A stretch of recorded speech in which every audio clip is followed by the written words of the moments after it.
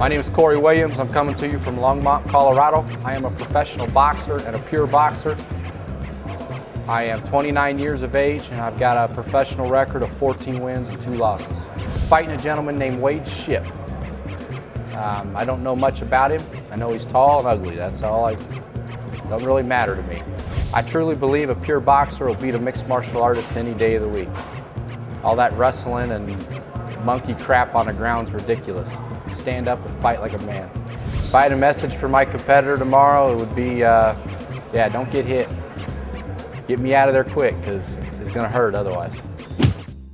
Good times, I'm coming equipped. Food barbecue and a split. Got the in the fridge. My cousin Coop teaches how to switch the to infinite switch. Plenty fish in the sea, the mid. Her name was Temptation from the village of sin. Asking for me, smart SMC. She had a tattoo of an apple in a tree. Can it be I God My name's Wade Shipp. I'm fighting out of San Diego, California. Fighting styles jiu-jitsu and, and kickboxing. All I want people to know about me coming into this fight or in this sport is that I'm a, a real fighter. I'm a, I train hard and uh, I go out there to win every time. My message to him is he shouldn't be such a cocky piece of I'm gonna f***ing kill him.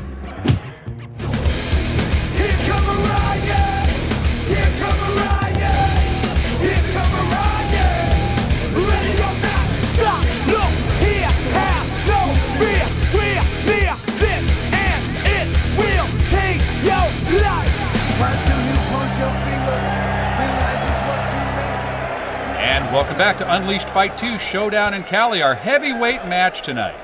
Wade Shipp out of the red corner, 233, 6'4. His style is kickboxing and jiu jitsu. Corey Williams is a boxer by his own admission and uh, loudly proclaimed, I should say, 273, 6'1. He says he's going to prove his point about boxing tonight, beating a good MMA fighter every time. This bout is for the Unleashed Fight Heavyweight Championship. Introducing first, out of the red corner, tonight he is representing Alliance Gym. Ladies and gentlemen, introducing Wade the Nightmare Shipp.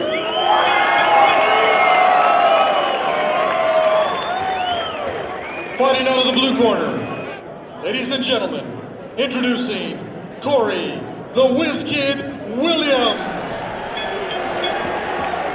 He says he's going to prove his point about boxing tonight, beating a good MMA fighter every time. Uh, Tiger, yeah, what do you think?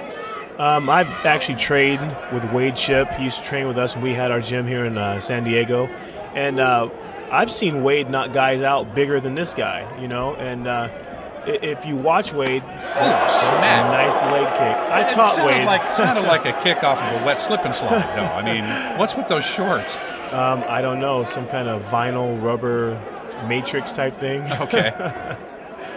it it um, looks to me like Wade is uh, just sizing him up. You know, Corey's got his hands down, which isn't smart even in boxing. Well, he's a boxer, and he- but he's taking those shots to the leg. I mean, would those be softening him- up already? Um, you can hear every time Wade's foot hits that vinyl. It's it's a hard kick. You know, Wade is he's nothing to play with. He's a heavyweight. He's got heavy legs. These guys don't like each other.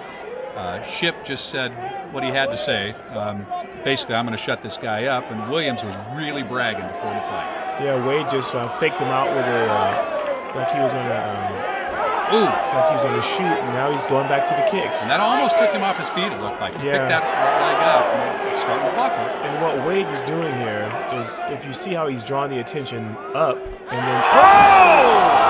No sooner did you say it, and he was going low and then slipped up high. yeah, I was gonna say that Wade was gonna tenderize those legs and then go up high.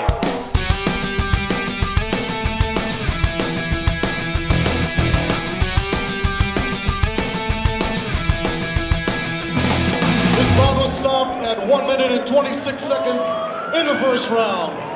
Your winner and new champion, Unleashed Fight Heavyweight Champion, is out of the red corner, Wade the Nightmare Shipp. Wade Shipp in round one picks up the Unleashed Fight Heavyweight Championship belt. Oh, Wade, one minute, 26 seconds, the first round. I guess you proved a point about boxing versus uh, MMA. Well, uh, Not really. I mean, there's a lot of great boxers out there. A good boxer would have his hands up, you know, but he had his hands down, so I kept kicking him in the leg. Hands got lower and lower. Took it up high. Can't take anything away from boxing, though, you know. He took a good hit. Yeah, he took it.